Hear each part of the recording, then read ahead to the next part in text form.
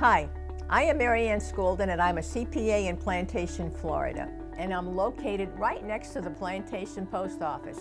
I specialize in tax resolution. Approximately 15 million accounts sitting in the IRS inventory for collections. There's another 7 million non-filers annually.